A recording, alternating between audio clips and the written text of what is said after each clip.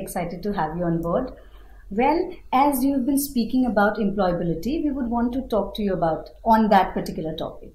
So, you know, in today's time, students opt for higher education in order to uh, kind of give weightage to their career, to make their career. But the reality is very different. So, what do you think? What is causing the gap? No, the uh, uh, gaps probably uh, are in the areas of uh, skills, the skill sets that one possesses. So, therefore, my understanding would be at the undergraduate level, one should have good subject skills, domain skills, that's extremely important. Having said that, he should have good reasoning skills, good analytical skills, good uh, arithmetic skills. Then, of course, the interpersonal skills and, and so on, and good, of course, good communication skills. Now, when you get into post graduation, you are getting into a specialization. Whereas undergraduate education is generic, the postgraduate education becomes specific. Now, so there are specializations in which you uh, get into at the postgraduate level. So again, the domain skills that you are looking at at the postgraduate level is extremely important. The other skills that you that one acquires during the undergraduate uh, program are only honed uh, to be a little better in at the postgraduate level. But still when he gets into an employment depending on which sector he gets into he will certainly most certainly need training on the job training.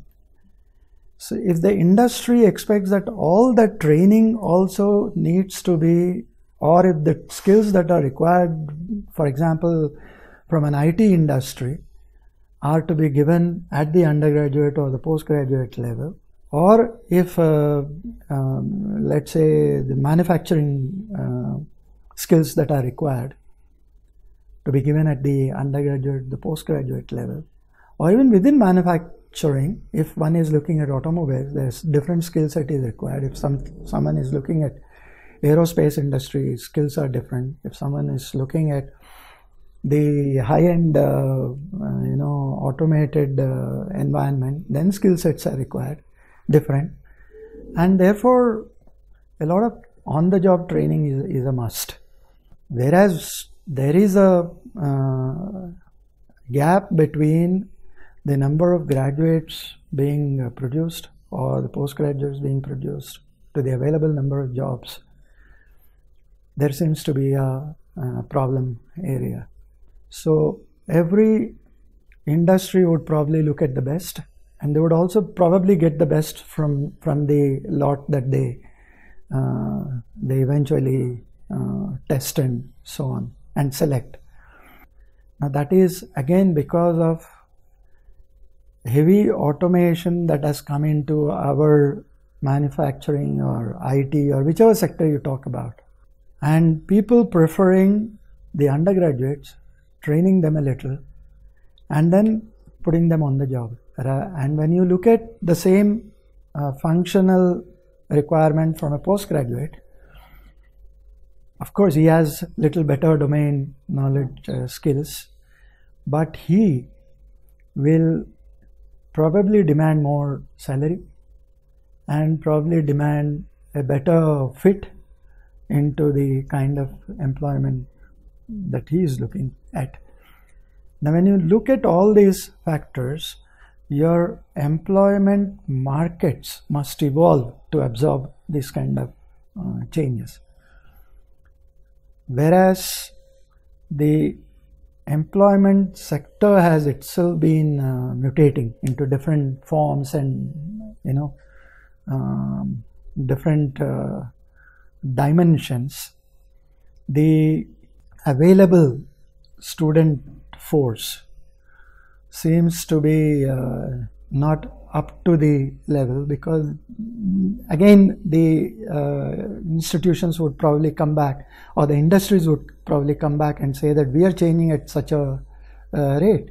And the education has been stagnant at certain point of time. The requisite skills are not being given. Probably this is a little unfair uh, uh, comment to make. No university in this world will ever guarantee a job. A university's job is not to guarantee a job.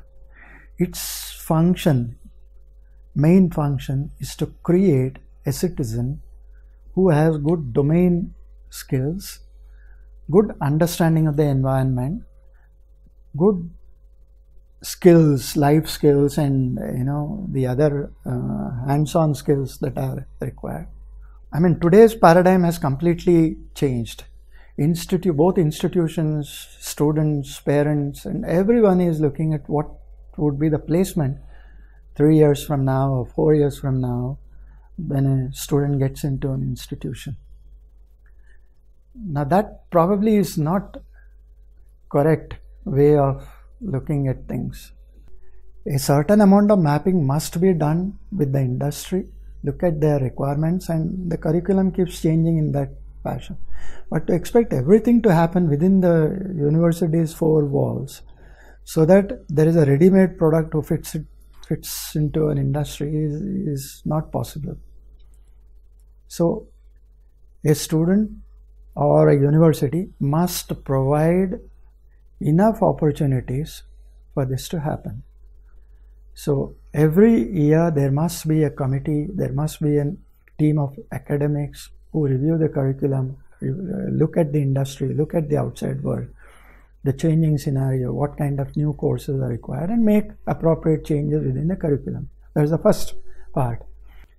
Now, innovation comes out of this, and a lot of uh, startups have actually come out of this. A drone that you see today is a is, is something that has come out of these kind of labs. The, all that I'm saying is provide as many facilities as as possible for students to learn on their own, experiment their ideas and so on, start making, fabricating new things and so on. Provide them that facility and let them experiment. All that the teacher must do is a little bit of hand holding and provide some team based things so that the ideas are streamlined. Now, the third method that's possible is there are several third party uh, content providers. For example, online content providers like School Guru does something. There are many others. There is Coursera kind of uh, platforms available, LMS available there there is Udemy. There there are almost six, 60 different uh, platforms available worldwide, and they all some of them provide domain specific content. Some of them provide you know content which is aggregated from different sources, so on. Now more all the curriculum wherever the flexibility is available wherever the autonomy is available these people must introduce at least one such course, build it seamlessly into the curriculum, and let the students pass an online test conducted by the by the parent organizers. For example, uh, Coursera has a collection of uh, content uh, from different universities across the world, the best of them, and the best of the faculty have uh, you know participated in creating that content. So the students must be exposed to this kind of content to interact with these kind of people at specific times and so on. Everything comes at a price. But the university the, the institutions they also have raised the fees. They have they charge on different counts. And if they can build it into the curriculum nothing like it. So universities must look beyond a classroom kind of teaching. There are many experiments happening, a flipped classroom, and so many things are happening, but uh, these basic ideas must germinate into every classroom, every university, and that's how things carry on. And finally, the universities must create an environment where the students can interact with their peers outside their university. Today, hardly any interaction happens. It, so it only happens during some social kind of thing at the end of the year where some students are invited. Most of the time, it's on, it, that also is limited to only the institutional uh, student uh, population. So, uh, by allowing uh, technical seminars, you know, where students participate between different institutions, where students, your students are encouraged to go out, where student outside guys are encouraged to come in. The same thing happening with the faculty, and new ideas can come out. New, you know, uh, so that that's the way to uh, go uh, in order to improve the employability. Learning by doing and earning while learning. So these are very powerful concepts. So how do you think these concepts can be implemented in the system so that it can kind of empower students? Yeah, I mean, uh, it's a good uh, concept. Learning by doing. I have uh, set up, talked about experiential learning and fabrication lab, and uh, you know where innovation ideas uh, can uh, come in, and one can experience what they learn back in the lab and so on. So that's that's learning by doing, and most of the skill uh, skills are acquired that way. I mean, there are several sectors where only learning by doing happens, even today. Uh, we, you know, all all skill education is sector specific. For example, you have automobile is a sector, you have construction is a sector, entertainment is a sector, and so on. Now, if you look at the entertainment industry, there are several skills which are required before the screen, and there are several uh, skills which are required behind the screen. Now, electronics and entertainment are nicely merging together. In fact, one drives the other. There is a lot of uh, uh, development that has taken place within electronics that actually functions for driving the electronics industry and the other way around. Okay? The requirements within the entertainment industry drive the electronics to come out with different uh, ideas and so on. So there are several skills which are required. The performing arts and probably that skill is before the screen, in front of the screen.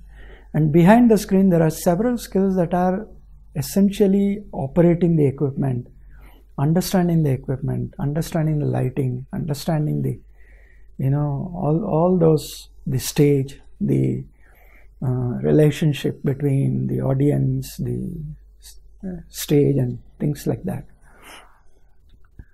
and for example you look at any event uh, that's organized today there's so many uh, uh, cameras which are operated through booms and so on and that boom operating also is a skill and a lot of training is required in order to do these skills properly. Otherwise, they can cause damage on the, you know, at the event. Uh, now, who are there? Are there schools which teach these kind of skills? Today, probably no.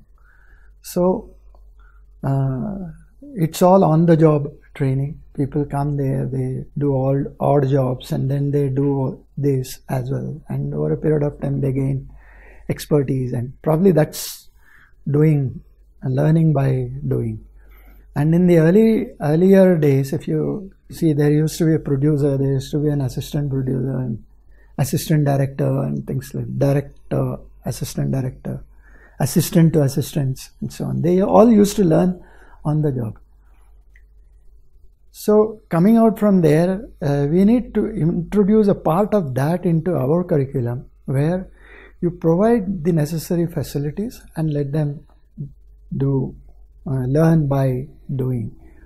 Now, if you look at the gross enrollment ratio in this country, it's about 24 today. at the higher education.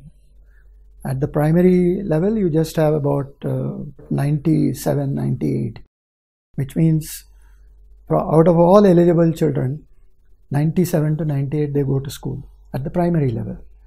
When you come down to secondary education, it becomes 64, which means so many people have dropped out. And uh, when you go to higher education, it means 12th and beyond and so on, it becomes 24. So still many more have dropped out. Now, why does this happen? For two reasons. One is they don't have the money to uh, sail through the education, uh, or conversely, they also have to support their families apart from supporting themselves. So that they so so then result is they can't get into a college, they can't get into regular education, all that happens. Now, in this kind of uh, scenario, we already have, there are several people who perforce get into a job and they have to earn to live. And in their spare time, they also go get into some distance uh, learning, online learning, or maybe go to colleges which run in the evening, which run in the night, schools which run in the night, and so on. So, in some way, this is earning while learning. This has become a necessity because we there are several reasons for this. One is economic, and the second reason is the kind of education that is happening today is probably not something that people, many people like. I mean, they, they want to do something else and they don't want to get into this, you know, college where you're taught accounting, you're taught business, you're taught all those things. The, the standard curriculum. They probably have ideas of learning photography, they have ideas of learning becoming a great uh, singer or a great musician or an actor or all kinds of things which are not in the uh, not something that they can easily uh, acquire. Uh, wherever it is available, it's prohibitively expensive and therefore they cannot do it. For example, whistling woods is a you know where they teach many of these uh, skills, but it's very expensive. So how many people can do it? So therefore, people will have to work in order to look after themselves, make some money, and then invest into learning and so on. Yeah. Thank you so much, Thank sir. You. It was a very, very, you know, enriching session. We really loved, I really loved talking to you. Thank you so much for being on the show. Thank you. My pleasure.